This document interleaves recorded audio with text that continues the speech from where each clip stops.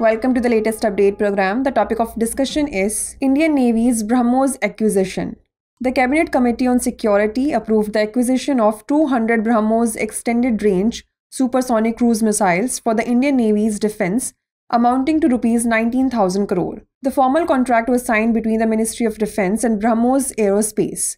In March 2023, the MOD had signed a rupees 1,700 crore deal with BrahMos Aerospace for procuring long range missiles and maritime mobile coastal batteries for the Indian Navy. The Indian Navy's warships or destroyers already equipped with BrahMos missiles are Vishakhapatnam class, Kolkata class, Delhi class, Rajput class, and frigates of the Shivalik class and Talwar class. The latest acquisition cleared by the cabinet is of the BrahMos extended range supersonic cruise missiles, that is BrahMos ER.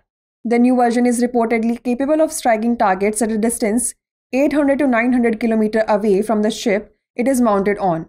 The Navy has not, however, specified a precise strike capability. It is a two stage missile with a solid propellant booster as its first stage and a liquid fuel fired ramjet engine as its second stage, which powers the missile beyond supersonic speed.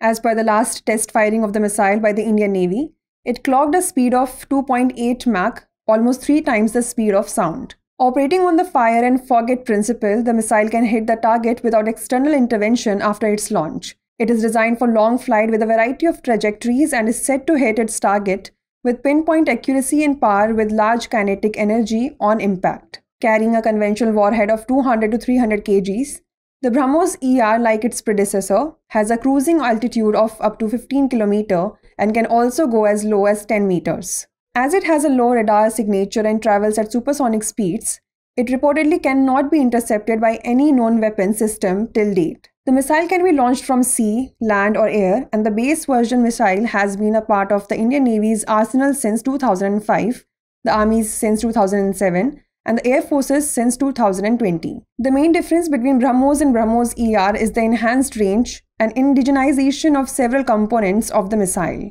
Now is the time to test your knowledge. The question is What is the speed of the BrahMos extended range supersonic cruise missile that is BrahMos ER?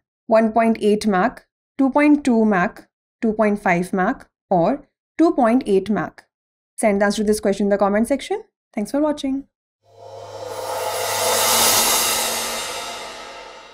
For more informative content, like, share, and subscribe and do not forget to press the bell icon to get the notifications.